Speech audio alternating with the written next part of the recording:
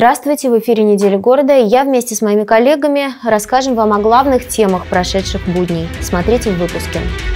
Новогодний почтальон, подарки к детям из социально незащищенных слоев уже в пути. Федеральная программа в деле. Городские власти инспектируют пристройку к детскому саду. Почерк мастера. Персональная выставка живописи Виктора Минкина открылась в выставочном зале художественного музея. Почти две тысячи рязанских детей из малообеспеченных семей получат подарки к Новому году от городской администрации. В префектуре Октябрьского района родителям и представителям детей-сирот самые ожидаемые в декабре мешочки вручал новогодний почтальон. Поздравляю вас с наступающим Новым годом. Очень приятно. Ну что, готовитесь к празднику? Письмо написали? Да, обязательно. Письмо Деду Морозу, конечно, один из весомых аргументов для получения волшебной обратной связи, но не определяющий. Вот такие красные мешочки со сладостями – это первый шаг к сказке для детей из малообеспеченных семей и тех, кто попал в трудную жизненную ситуацию.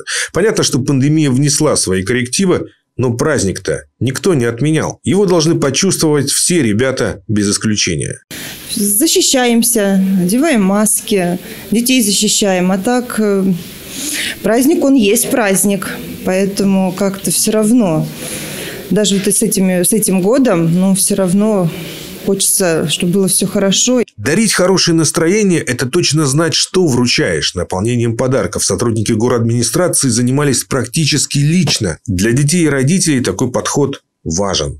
Ежегодно в преддверии Нового года администрация э, города вручает новогодние подарки детям из семей, находящихся в тяжелой жизненной ситуации. Это и многодетные семьи, и семьи с детьми-инвалидами, э, неполные семьи. Вот э, в этом году 1988 детишек наших маленьких жителей получат сладкие подарки. Дорогие рязанцы, поздравляю вас с наступающими праздниками. Новый год все ближе, настроение настроение все ярче. Желаю вам ни в коем случае не унывать и всего самого-самого прекрасного. Верьте в чудеса, и тогда чудеса обязательно найдут вас. Почтальон сегодня, пожалуй, самый позитивный предновогодний персонаж. Деды Морозы и Снегурочки, конечно, еще будут, но позже. А пока что именно он в Рязани главный символ Нового года и хорошего настроения. Максим Васильев, Станислав Кудряшов, телекомпания «Город». Сразу несколько соцобъектов проинспектировали сегодня глава муниципального образования Рязани Юлия Рокотянская и заместитель главы администрации города Надежда Штевнина. Первым пунктом стал детский сад номер 125. Здесь возвели пристройку, в которой теперь размещена ясельная группа. Всего таких пристроек в Рязани уже 5, и это сразу добавило 400 дополнительных мест для детей от 2 до 3 лет. Во-первых, у нас восстановили все полностью освещение на, территории, потому что освещение было в достаточно плачевном состоянии. Э, вот, э, то, что у нас сейчас стало светло и красиво. Потом асфальт. Поменяли весь полностью по всей территории тоже асфальт. Очень хорошо установили бордюрный камень. В разговоре со спикером Рязанской городской думы Юлией Рокотянской администрация 125-го детского сада не скрывает своего восторга и от того, что учреждение попало в национальный проект «Демография», и от того, что подрядчик обустроил прилегающую территорию, да и от того, что очередь в ясли значительно упала тоже. Все потому, что вот эта современная пристройка к детскому саду фактически убрала весь ажиотаж вокруг мест для малышей двух-трех лет. Такое решение для детских садов Рязани применили уже пять раз. Будет больше. Эта практика будет продолжена.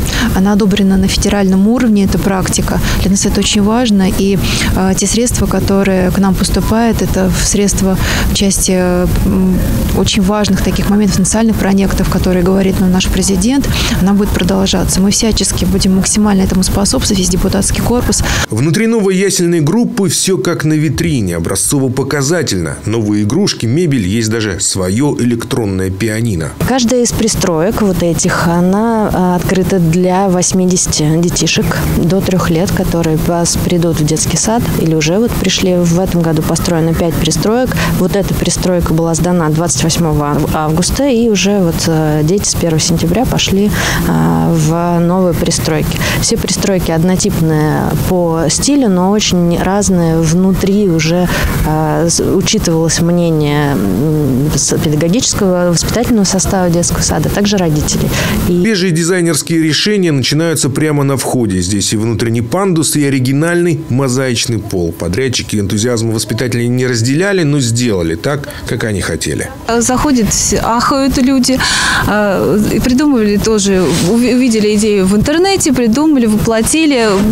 Подрядчики там, может быть, где-то не очень обрадовались тому, что пришлось вот это вот им выполнять. Но, однако, пошли навстречу. Спасибо им за это большое. С появлением новых групп облегченно вздохнули местные жители. Ведь для многих это детский сад своеобразная связь поколений.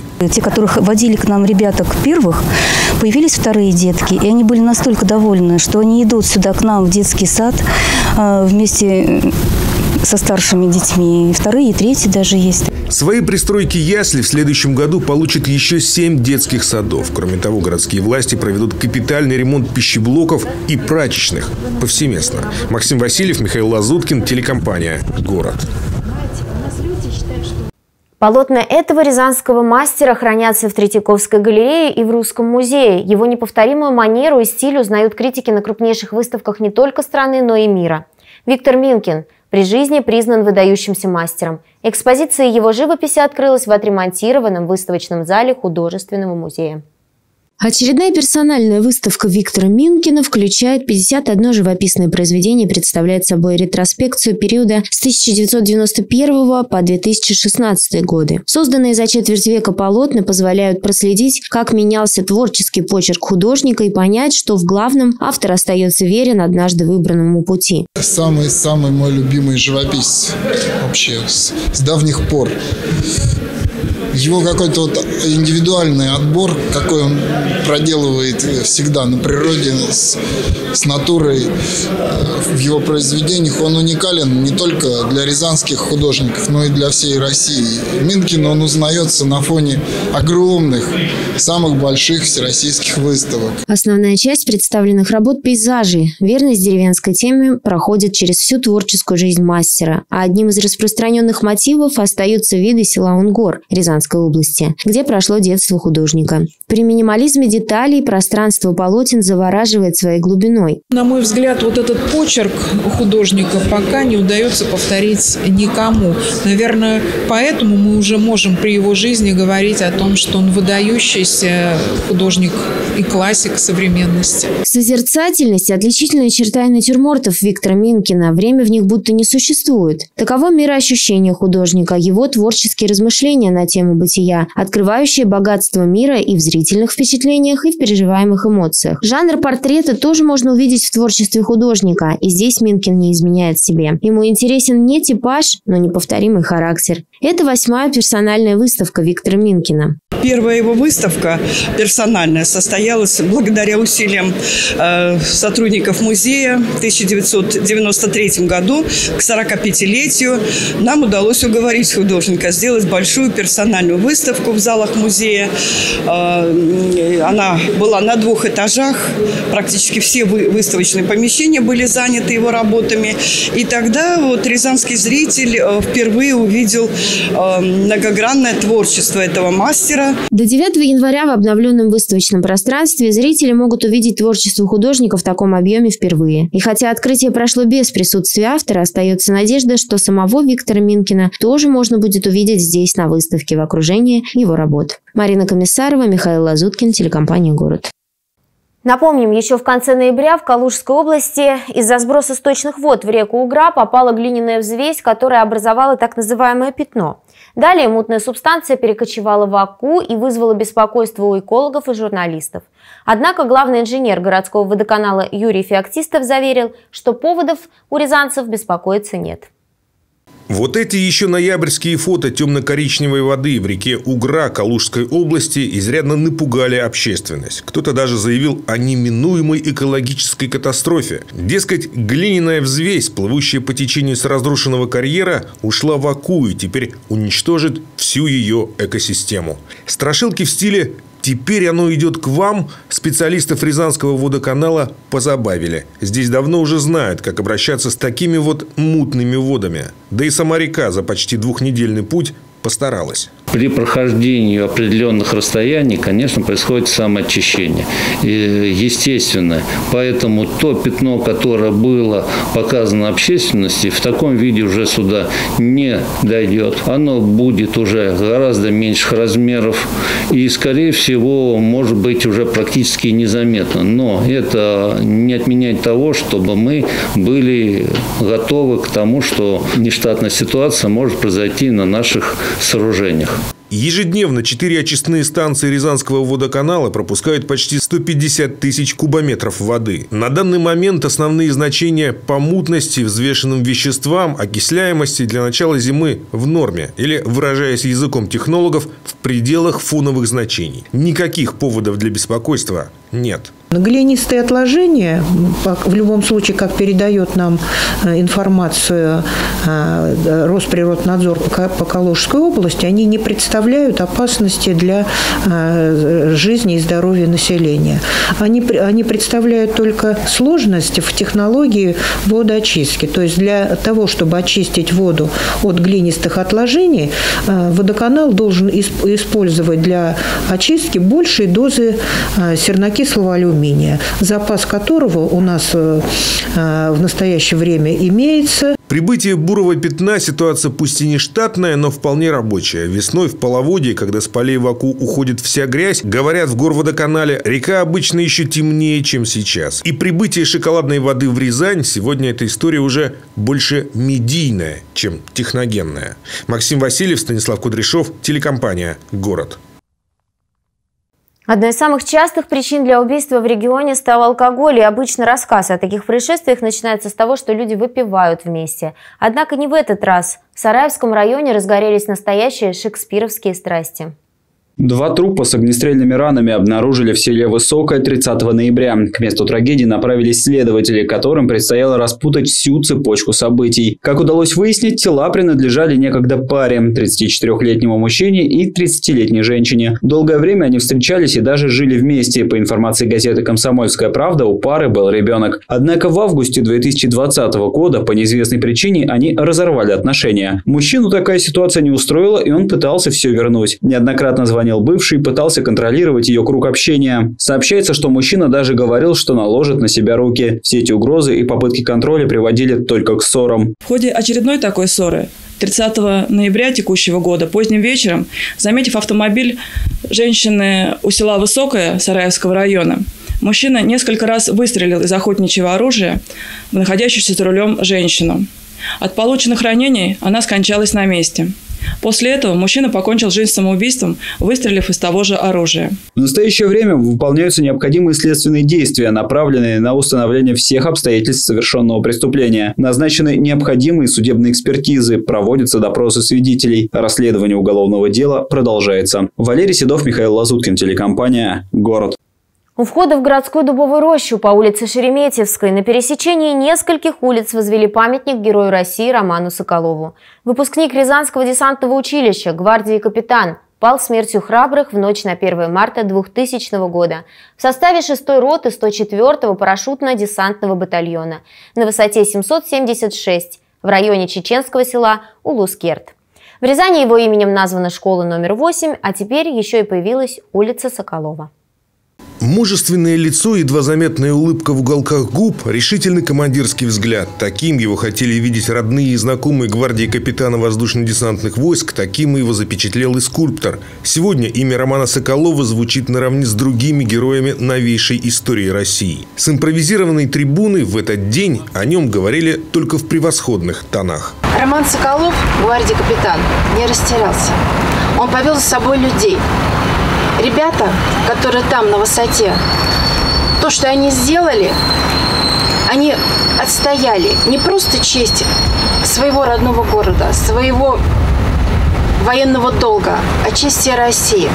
И мы каждый раз будем это вспоминать и, самое главное, говорить нашему молодому поколению. Этот бой на высоте 776 в Шатойском районе Чечни до сих пор обозначен как самый кровопролитный за всю историю Второй чеченской кампании. Почти в 25 раз превышающая десантников численно, банда Хаттаба и Басаева получила отпор от 6-й роты 104-го парашютно-десантного полка. В результате жестокого боя было уничтожено около 700 террористов. Ну и десантники понесли потери. Из 90 человек выжили всего шестеро. Они и рассказали о подвиге Романа Соколова. Гвардии капитан, пока был в сознании, руководил остатками роты. Возле него потом насчитали 15 убитых боевиков. Отец солдата таким геройством своего сына удивлен не был.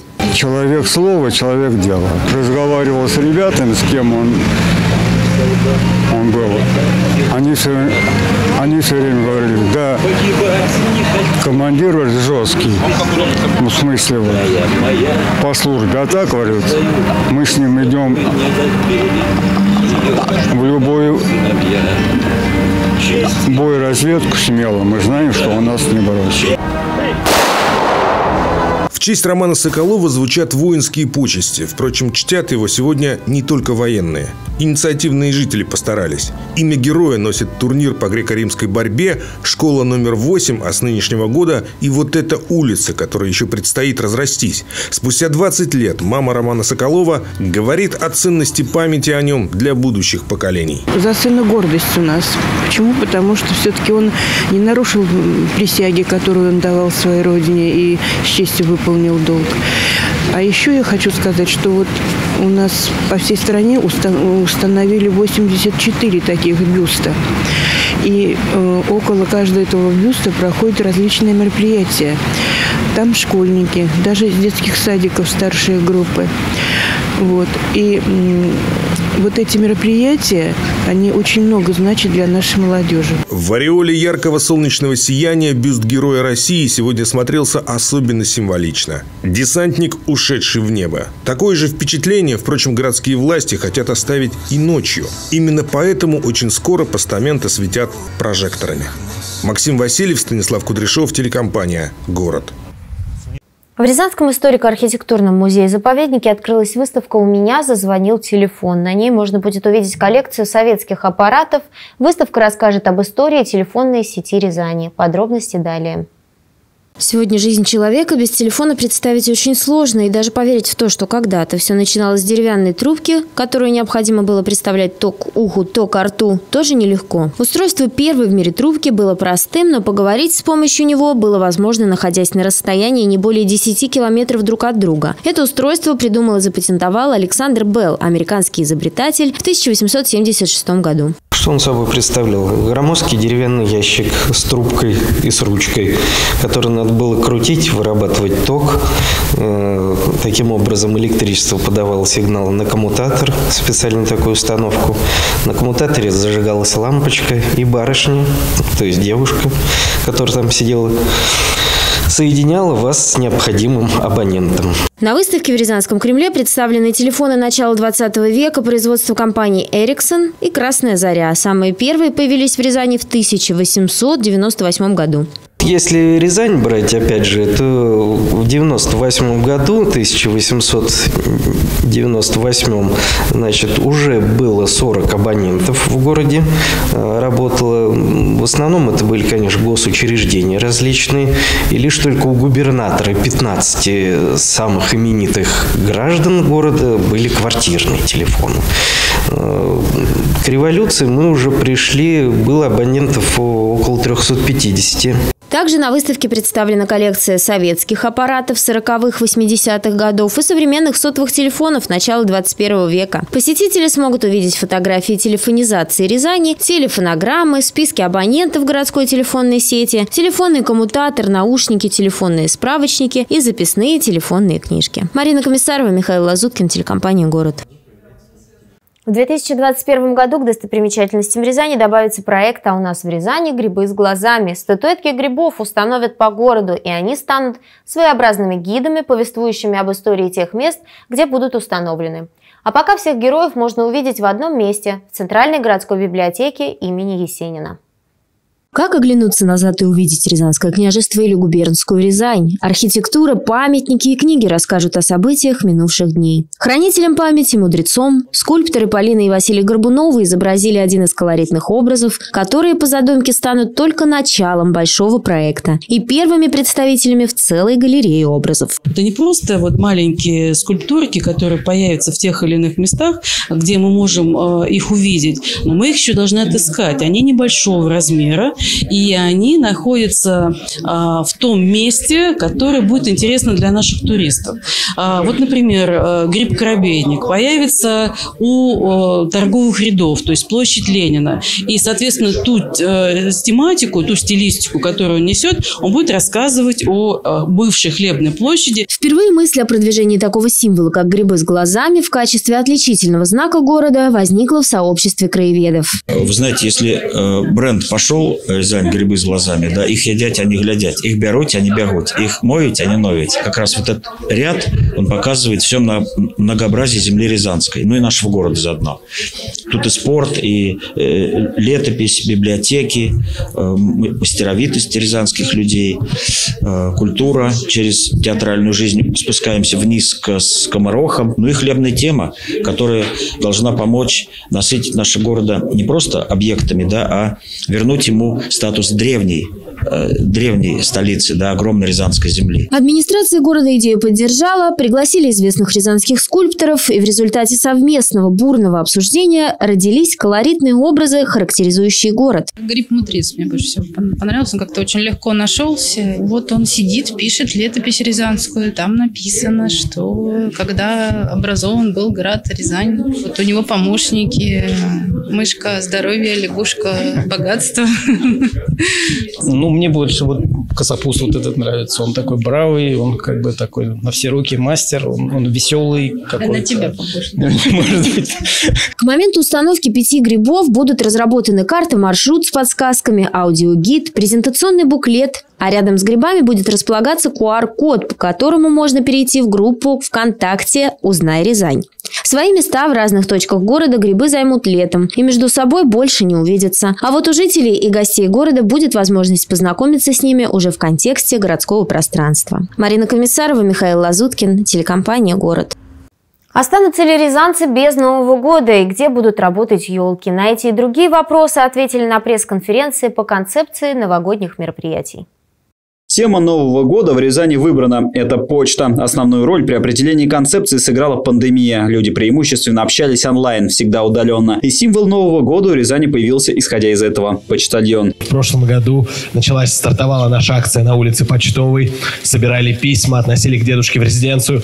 Я и сейчас только что из резиденции Деда Мороза отнес ему очередную партию писем. Можно поздравить и всех рязанцев. Сделать это получится в двух студиях – МКЦ и в резиденции Деда Мороза. И поздравить Поздравление увидят все рязанцы на одном из четырех установленных в городе экранов на Почтовой, у Зеленого театра и в резиденции Деда Мороза. Четвертый установят на площади Победы, а ближе к празднику это место сильно изменится. Будем удивлять цветовыми проекциями. Цветовые проекции хорошо себя зарекомендовали в течение года. Это три здания, которые мы выбрали. И в течение семи дней будут новогодние проекции на зданиях ну, показывать, сделать такое хорошее настроение. Также по экранам будут транслировать концерты. А при Рязани проект едут почтобусы. В них сказочные персонажи и духовой оркестр. Места остановок не называются, чтобы оставить эффект спонтанности. Огромное количество добрых людей, волонтеров, которые сейчас работают в областной клинической больнице, и не только. Всех тех добрых, светлых людей, которые есть в нашем городе. Мы очень хотели вот эту идею тоже подчеркнуть. Да? Добро, свет, вот праздник на дом, праздник, который каждому должен достаться. Поэтому а, мобильные бригады будут ездить, приносить праздник на дом возле больниц, устраивать праздники, да, чтобы э, на них могли посмотреть из, из окон. Новогоднее оформление города завершится к 15 декабря. Валерий Седов, Станислав Кудряшов, телекомпания «Город». На этом у меня все. Я прощаюсь с вами до следующих выпусков. Всего доброго.